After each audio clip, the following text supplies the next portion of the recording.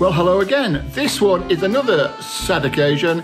On the occasion of the death of my friend Nik Turner, who was the Hawkwind founding member and saxophonist and flautist and vocalist, of course, not to mention songwriter, the in the original days. I've known Nik for a long time. I've got no idea where we first met because it's just one of those people that you just met, and then every time you bumped into him, you, you already knew him, and you just speak as if you had always known him.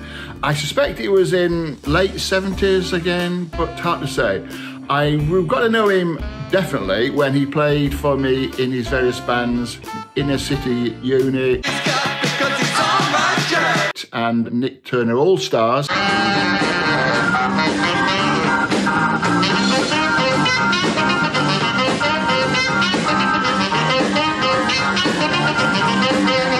Who played for me at the cricketers and other venues at that time.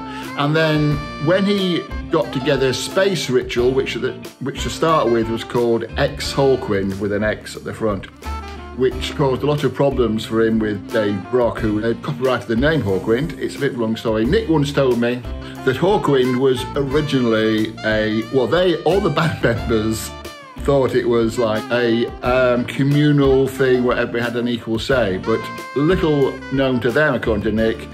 Dave Brock got the name copyrighted and then he decided he was the band leader and that's why he was able to hire people and fire people. But Nik never really got, got over that because Nik was always, I don't know, a totally free spirit. He's one of those people that I mean, you just never knew what he was going to do or say. I mean, that was part of his. He was never nasty. I mean, it's not like some people I knew who you could, who you're scared of, who just go mad. mad. I mean, no names mentioned. He would just be eccentric, lovable to the point of. It's like herding cats. I mean, with Nik and with a lot of people in his bands, getting them on stage on time and off stage on time was like pretty hard, as they basically did what they felt like when they felt like it. Much the consternation of the DJ, who at the 100 Club was the legendary Boss Goodman, Google him, of Dingwalls fame, Nik would entertain a small section of the crowd after the show with a solo concert, usually the Pink Panther or something like that, which could go on for half an hour while the DJ was waiting to play his dance music at the end of the show.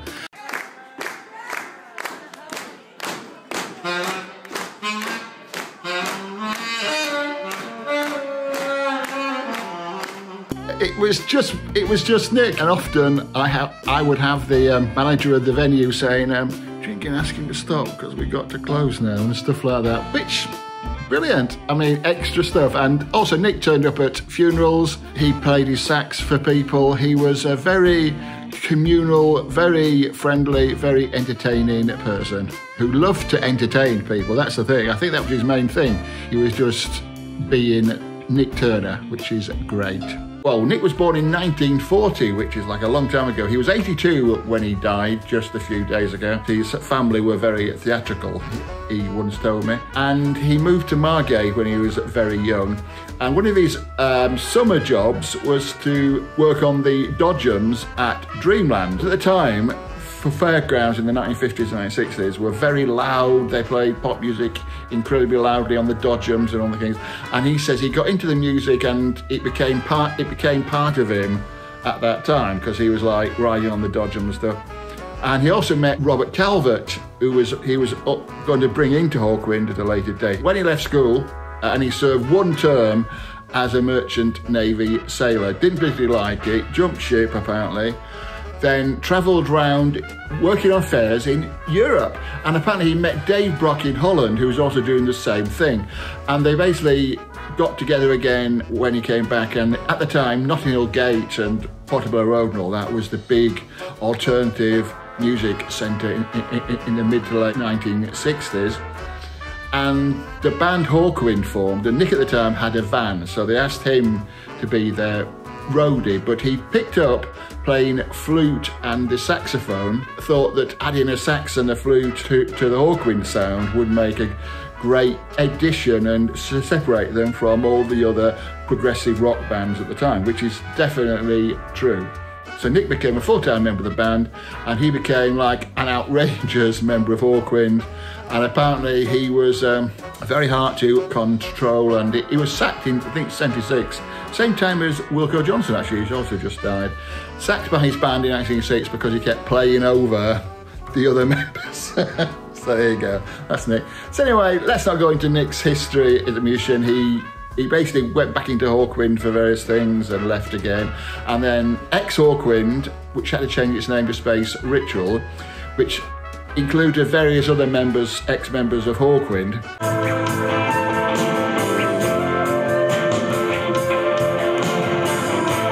And I was their agent for quite a long time in the 19, actually, it was in the early 2000s. And so Nik and I had quite a lot to do with, with each other. We knew each other as friends for quite a long time. And quite often recently, when I went to a funeral of somebody who died in, in music business, Nik would be there with his saxophone. I went to school, believe it or not, in actually Tenby, which is on the Pembrokeshire coast. And after I left to go to university, my parents had a farm and they gave up the farm and went to live in Narberth, in the centre of Narberth, because my father went to work for the local uh, brewery there. And Narberth is a very strange place. It's very, it's right in West Wales and it's like one of the most, it's like Portobello Road transposed to there. It's got antique shops. Every, every coffee shop's only sells organic stuff. There's all health food shops everywhere, and it's like a real buzz. And a lot of people who moved down from London, like Nik did, when he had a house at Notting Hill Gate, which he bought with his royalties from Hawkwind, and when he sold that, he moved to near Whitland and got this farm. And apparently, obviously, you get a lot more for your money in West Wales and this was the area around where TP Valley is, Google it, etc.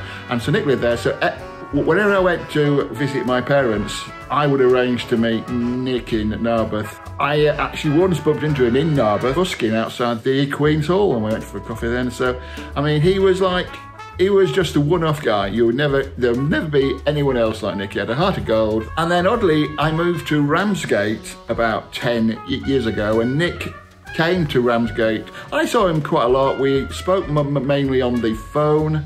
Um, he would ring me up at various things and we'd have a chat. Um, and sadly now, Nik has gone. I must say, a lot of newspapers have done tributes to Nik, mentioned the fact he was called Thunder Rider. I am sure that they don't know, especially the BBC website and the Daily Mail and things like that, don't realise that the Thunder Rider comes from his farting, basically. I think he ate a lot of lentils, so make of that what you will. And once I remember him saying, when we were at the cricketers, how he and his family ate his wife's placenta after the birth. Rest in peace, Nik Turner. We'll never see anybody like you. Good man.